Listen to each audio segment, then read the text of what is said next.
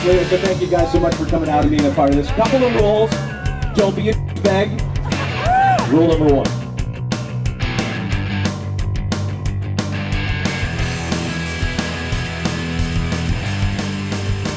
Uh, number two, if like most races, if you feel like you're going to puke or poop yourself, pull over to the side.